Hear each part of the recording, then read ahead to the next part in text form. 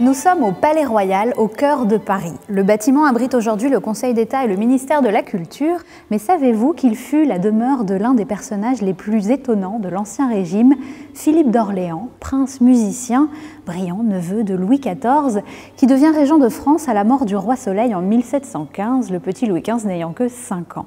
La Régence, c'est un entre-deux fascinant, bouillonnant, cette année entre-deux règnes, cette année de révolution musicale, puisque le régent n'est pas seulement passionné musique, il est aussi compositeur à ses heures. Campra, Détouche, Bernier, Stuck, Gervais, Clérambault.